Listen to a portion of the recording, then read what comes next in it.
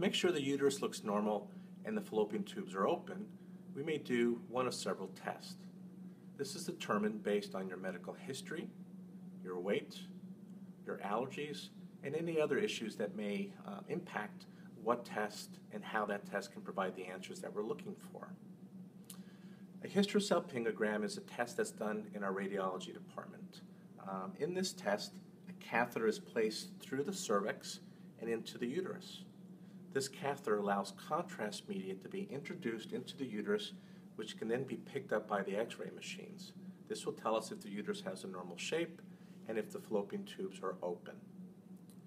There's another test called the FemVue, which can be done in our office.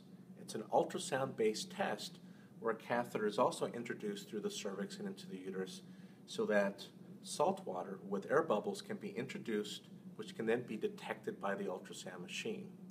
If the tubes are open, ideally the air bubbles will travel through the tube and we can see that on the ultrasound. If there is a chance that you might have some type of pelvic disease such as endometriosis, pelvic adhesions, or prior pelvic infections, a laparoscopy and a hysteroscopy may be, may be the better option for you. This is a surgical procedure that allows us to directly see the uterus, fallopian tubes, and ovaries. And this will help us determine if you do have any of these diseases it may also give us the opportunity to treat them as well.